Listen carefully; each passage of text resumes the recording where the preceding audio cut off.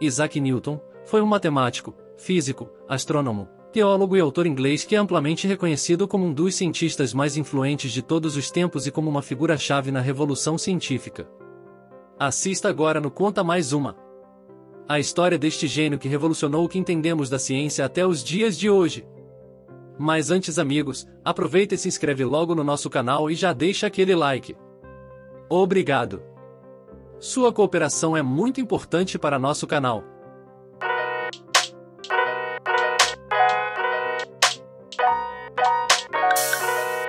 Isaac Newton nasceu em Woolsthorpe, uma pequena aldeia da Inglaterra, no dia 4 de janeiro de 1643. No calendário da época, o nascimento de Isaac Newton coincidiu com o Natal de 1642, portanto 25 de dezembro. Naquela época, a Inglaterra fazia uso do calendário juliano. Como atualmente utilizamos o calendário gregoriano, a data de nascimento precisa de Isaac Newton é 4 de janeiro de 1643. Isaac Newton foi batizado com o mesmo nome do pai, que havia falecido alguns meses antes do seu nascimento. Como sua mãe, Hannah Scott Newton, casou-se novamente e mudou-se para outra cidade, ele foi deixado aos cuidados da avó. Desde cedo, Newton manifestava interesse por atividades manuais. Ainda criança, fez um moinho de vento que funcionava em um quadrante solar de pedra, que se acha hoje na Sociedade Real de Londres. Os estudos realizados por Newton fizeram dele um dos grandes nomes da matemática, formulando teorias que são importantes até hoje. Em 1665, por exemplo, ele elaborou o teorema binomial, também conhecido como binômio de Newton, teoria que permitiu o desenvolvimento do cálculo, um ramo da matemática. Também realizou importantes estudos no campo da ótica, física e astronomia, em 1666, Newton foi o único a perceber a lei que seria básica para a compreensão de vários fenômenos, antes inexplicáveis, que ocorriam no universo. Ao cair da árvore, a mais célebre maçã da história da ciência motivou em Newton a ideia de gravitação universal. Por que caiu a maçã? Partindo dessa pergunta, chegou à descoberta de uma das mais importantes leis científicas. Isaac Newton elaborou, então, uma das mais fundamentais de todas as leis, a lei da gravitação universal. Nela, sustentou e provou que cada partícula de matéria atrai outra partícula.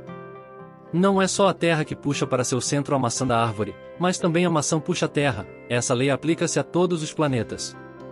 O Sol atrai a Terra, esta atrai a Lua e a Lua atrai a Terra.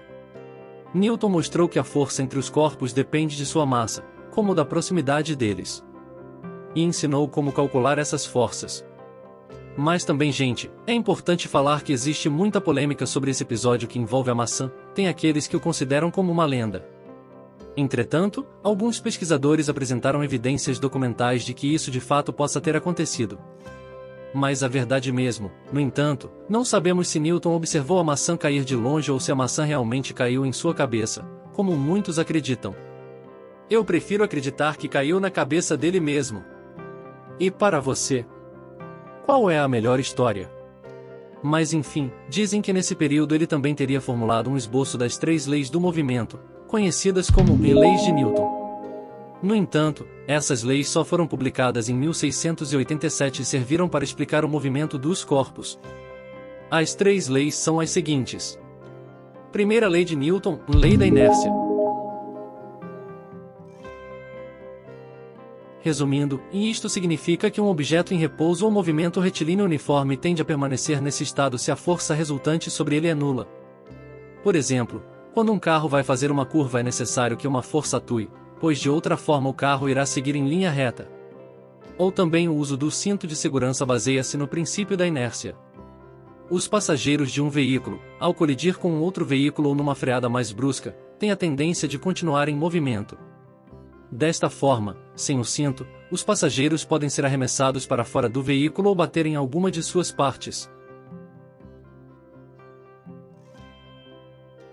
Segunda lei de Newton, lei da superposição de forças.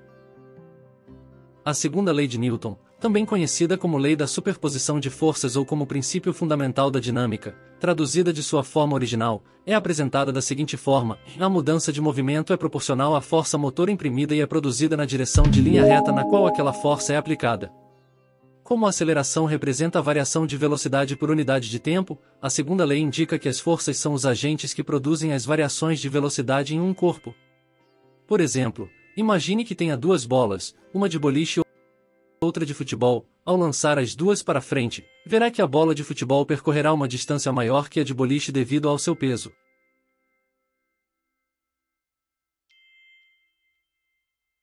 Terceira lei de Newton, lei da ação e reação.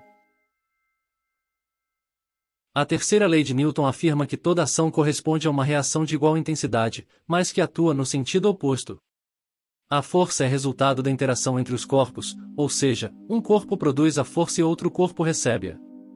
Um bom exemplo sobre a terceira lei de Newton, podemos ver em um lançamento de foguetes. Para serem lançados, o combustível dos foguetes é queimado e os gases se expandem, aplicando uma força sobre o solo. A superfície aplica sobre os gases uma força de reação, que empurra o foguete para cima. No ano de 1667, quando a universidade reabriu, Newton voltou para suas atividades, mas logo com 26 anos, tornou-se professor de matemática, sucedendo seu próprio mestre e protetor, Isaac Barrow. Em 1672, Newton foi eleito para a Royal Society, representou a Universidade de Cambridge no parlamento por duas vezes, de 1689 a 1690 e em 1701.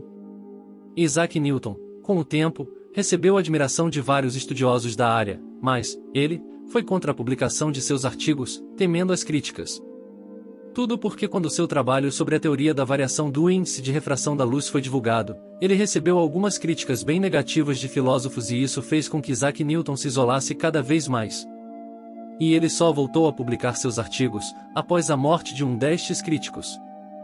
Já na casa dos 50 anos e com a Universidade de Cambridge passando por complicações financeiras, Newton voltou-se para outros trabalhos em Londres e foi eleito presidente da Royal Society. Além disso, fez alguns amigos durante o período, continuou os estudos nas áreas de ótica e mecânica e publicou trabalhos importantes. No entanto, nos últimos anos de vida, seus estudos foram dedicados à alquimia e a questões relacionadas a Deus e à pesquisa dos raios luminosos. Chegou à conclusão que a luz é o resultado do veloz movimento de uma infinidade de minúsculas partículas emitidas por um corpo luminoso. Uma curiosidade, um dos manuscritos mais famosos de Newton é o relacionado à pedra filosofal, um elixir da vida, uma substância mítica capaz de tornar uma pessoa imortal e transformar objetos em ouro. A lenda da Pedra Filosofal ficou conhecida por muitos por meio dos livros e filmes da história de Harry Potter.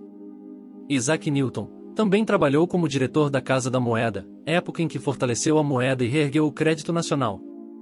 Em 1705, a rainha Ana outorgou a Newton o título de Sir, se tornando assim o primeiro cientista a receber tal honraria. Isaac Newton faleceu em Londres, no dia 20 de março de 1727. Seu funeral foi grandioso. Seis nobres membros do parlamento inglês carregaram seu ataúde até a abadia de Westminster. Em sua homenagem foi erguida em Cambridge uma estátua com os dizeres: ultrapassou os humanos pelo poder de seu pensamento. E até hoje, Isaac Newton é um dos cientistas mais importantes da história e um dos principais físicos, matemáticos, filósofos e alquimistas da história. Isaac Newton deixou estudos e teorias que são utilizados até hoje no mundo todo. Suas obras são referências fundamentais para o estudo da matemática e da física. E aí, pessoal? Gostaram do nosso vídeo? Não saia sem curtir e de se inscrever no canal. Sua ajuda é muito importante. Obrigado por ficar até aqui. Até a próxima, pessoal!